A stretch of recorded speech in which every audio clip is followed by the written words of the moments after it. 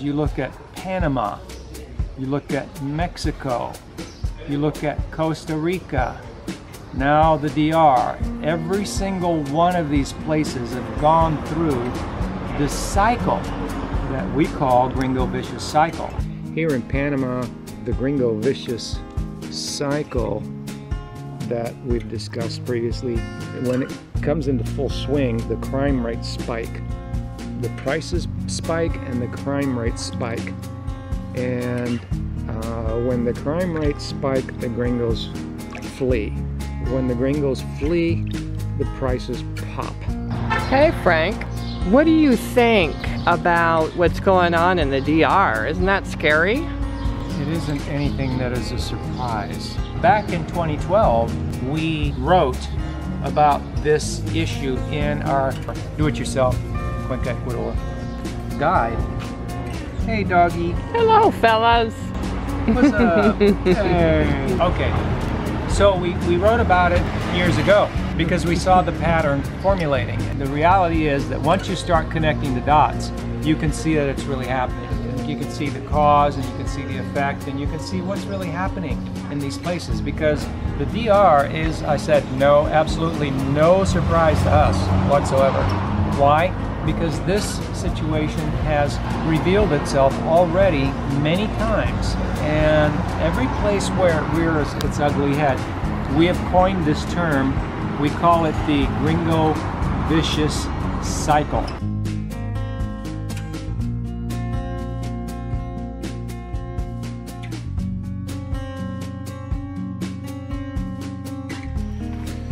So this gringo vicious cycle is really a RAM group vicious cycle. RAM, retire abroad media and magazines and groups.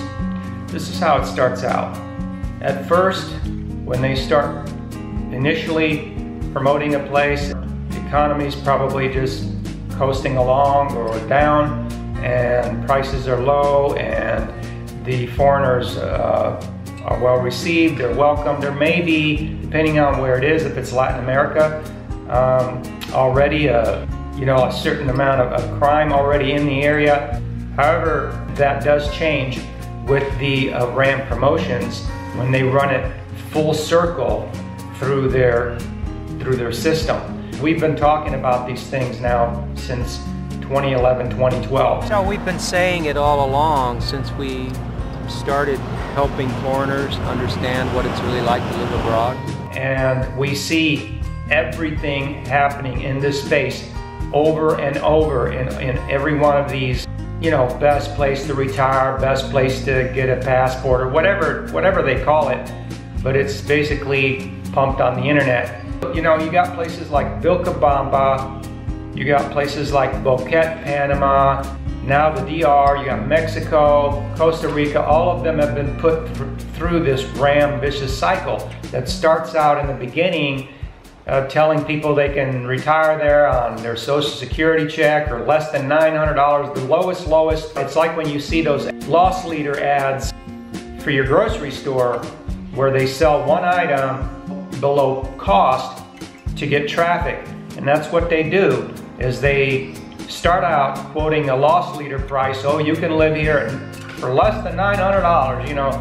And of course, that doesn't last. And then the next step is they, they just start incrementally increasing the amounts as time goes on and more people show up. You know, the cycle is just builds uh, momentum as the bubble increases. And this, this happens in a relatively short amount of time. This is not normal organic traffic. You would refer to as a normal flow of people. This is a targeted, high velocity increase in the amount of people that are showing up over a short span of time, usually within five years. The place goes from being tranquil, peaceful, you know, just people that welcome you and they welcome your, your tourism to the stages where the prices start doubling and tripling and the majority of the people welcoming you are now expat for profit businesses, people that pile into this thing for the money and it's a very focused group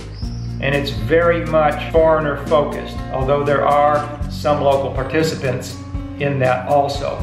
So, so eventually, Because the expats form their own little communities in these cities. the, the whole picture is one of the foreigner incrementally dropping itself in high numbers into specific areas and pretty much taking over in a commercial way.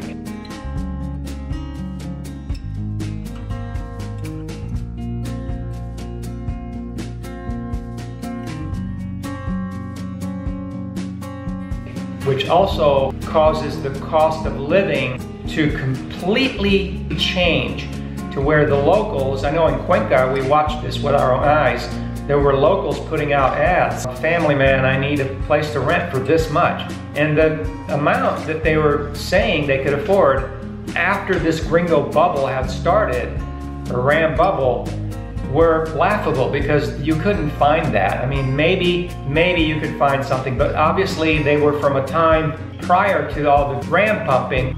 The core issue is the ram pumping, and they're always pumping it to Americans, Canadians, and Western higher. You know, there's an arbitrage going on. People from much higher earning countries moving to these places that were cheap for a reason. So there's different stages of this bubble that is getting created over like a five to seven year period. And so the first stage is the cheap loss leader stage. Then they slowly, I say slowly, within six to 12 months periods, as people start complaining, well, you know, on forums, I went down there and I can't live on 900. Recently, we have people on forums, I went to Cuenca, I couldn't live on 1600. When people come out and these responses come forward into the public stream, the Rams adjust their figures. So they, they only adjust their figures as people are bouncing back because of the bubble that's being created. And so they adjust their figures every incrementally and the bubble's in motion. And so we go from places that you're told you're gonna live on 900 or less to in Cuenca right now, people are living on two to three thousand dollars. And another point about this is that because the amounts increase incrementally and in stages, they have uh, relationships. I've talked about this on my channel before, and I just, I'm trying to condense this for this video, but they have relationships with all these different news outlets that cater to uh, different segments of the population, such as Wall Street Journal, Forbes. Uh, initially, they start out with just you know, little articles, maybe online, you know, but as the amounts increase, they progress over to business magazines to appeal to a, a business class or people with higher incomes. You know, people in Las Vegas living on $10,000, all of a sudden you can come to Boquete or you can come to Costa Rica or you can come to Vilcabamba or whatever, name you pick, the Dominican Republic, and you can do it on only $2,000 or, or $3,000. So this is what happens, and the repercussion, which leads back to why we are not surprised about the current crime wave and crime spike in the Dominican Republic, which has also happened in all these other locales. You know, after foreigners been going to a place for 15, 10, 15 years, doing things the way they do them, you know, living opulently and such, and kind of in your face to the locals like that. Um, it seems to be just a just a cause and effect where eventually the crime rates just go up.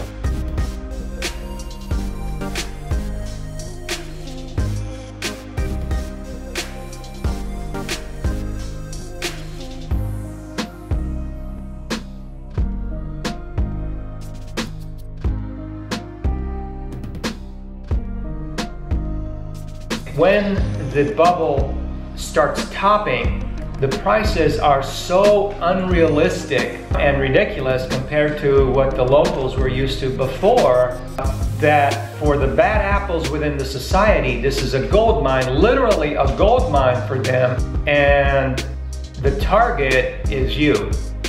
The target is you. You know, the foreigner becomes the gold mine of the bad apples. It's just inevitable. And so while this is forming, the participants at each stage don't have a clue what's happening.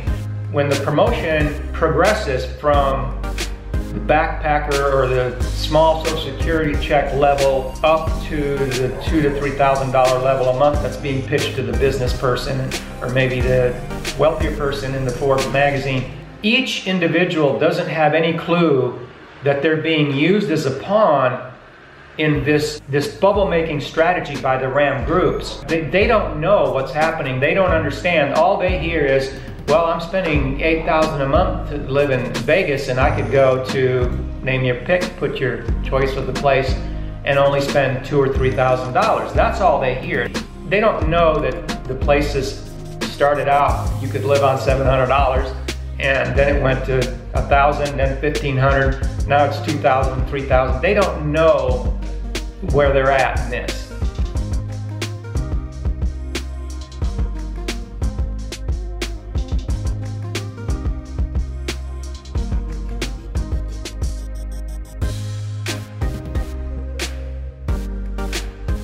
And so because each stage, each participant or person that is getting into this doesn't really know they're entering a stage of a bubble and doesn't really understand what stage you're in and what's coming next, they're completely blind.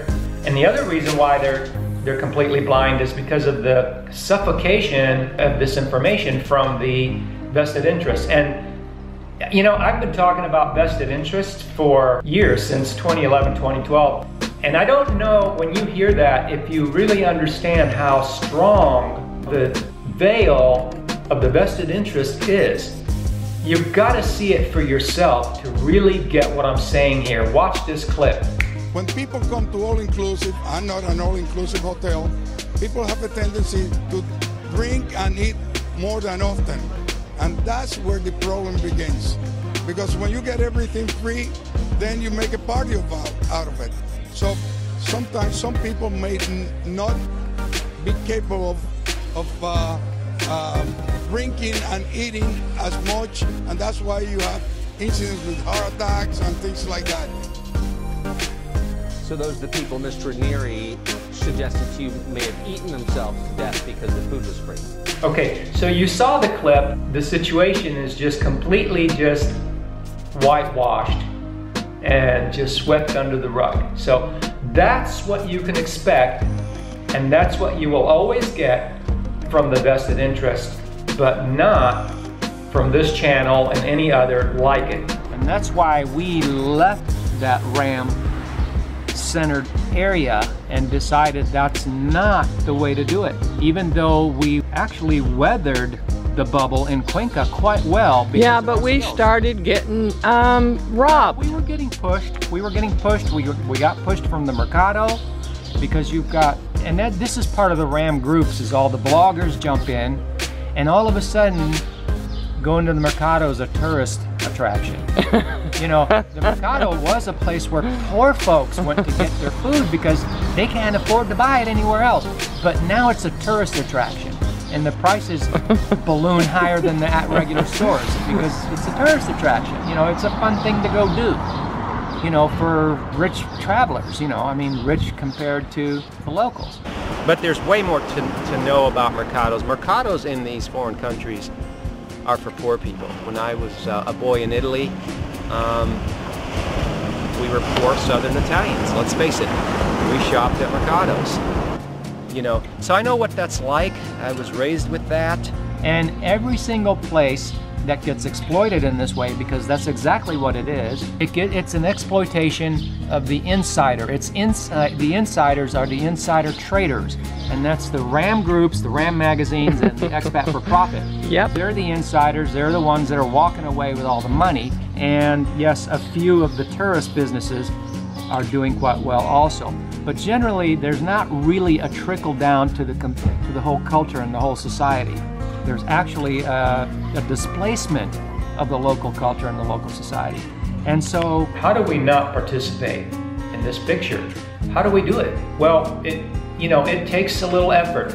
You know, the, the biggest thing that I see is people all over the internet that think, oh gee, all we've got to do is pack a bag, go over here, and life's going to be so different and so wonderful. And I'm not saying that that wouldn't be the case, but it isn't separate or apart from this other picture that we're discussing. It's part of the picture.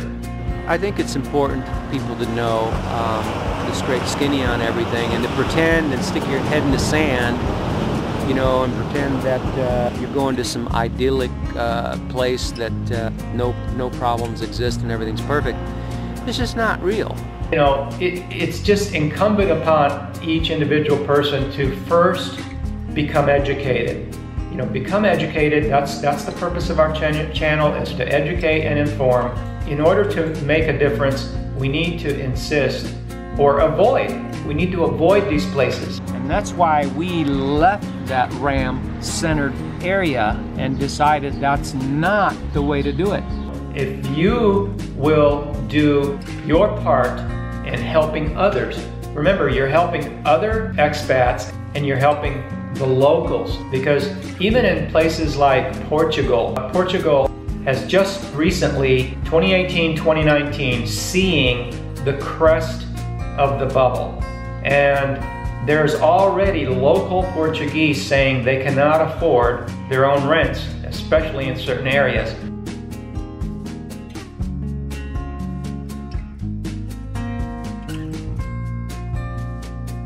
You know, you've got other areas of the world where you're not called a gringo, you're called a foreigner, not a gringo. So, and especially in some of these places that are touted as, as tax, some kind of tax benefit, beware because you're going to have every business person that is able to utilize that strategy is going to rush in there and they're not going to care what the price is because they're going to save so much in tax even if the place you should be able to live there on $1,000 a month, they'll spend $5,000 a month because they were paying, you know, $10,000 a month in taxes or, or more.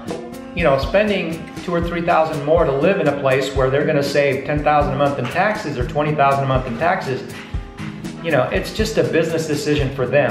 So they're also unwitting participants, or maybe winning participants, they don't realize that they're part of this bubble making ram vicious cycle scenario where the crime rates will eventually get out of control.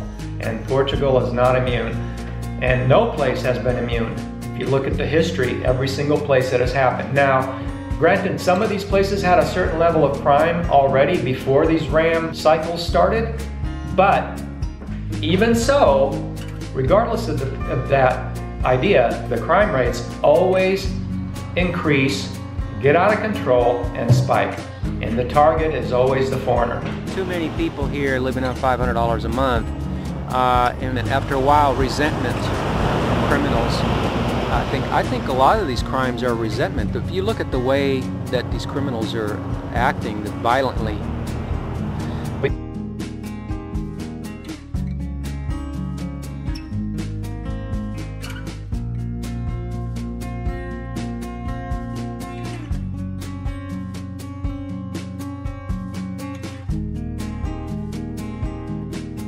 Vilcabamba was extremely peaceful, was just a tiny little village of just peace-loving and peace-abiding locals. And then after the cycle, Ram cycle got to it, you know, the crime wave with home invasions and just spiking out of control and, and that kind of thing. Understand the vested interest, the RAM groups, and the expat for profit way that they keep you away from the facts. You have naysaying expat for profit. We call them vested interests. They're always and there's a lot of people that will minimize crime and they will poo-poo it and then they will make all these statements. Uh, and there's a lot of reasons for them to do so, and there's a lot of reasons for locals to get defensive. Um, a lot of uh, times the locals take it personal as a personal insult, which it is not. And then, of course, maybe the government does something about it at some point, but not before people, you know, get hurt. Some get murdered.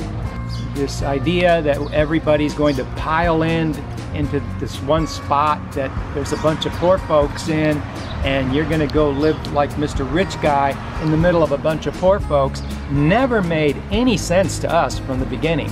There's a lot of hubbub about uh, middle classes and all that, but uh, what you don't realize is that uh, that's not the foundation and the base of the country. You know, it's not middle class like in the States where it's a, a sizable middle class. It's a misleading statement uh, when you when you hear that there's rising middle classes. These are designed to make you feel better about your living standards when you go to poor countries. The reality is that percentage-wise, you may have a middle class in these countries, but it's much, much smaller percentage of the population than what we're used to in the States. And the cause and effect is now clearly visible to the layman's eyes. Anybody can see it now that just takes a look. So the solution is that to understand that after seeing pattern repeat itself over and over, then you can recognize the pattern and you can acknowledge that this is this is true, this is correct, this is a cause and effect. This is what's happening. And it is detrimental, it's serious.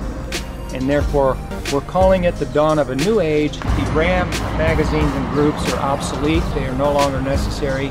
It's time to do things differently, change the way you do things. Why? Because it's good for you and it's good for the locals.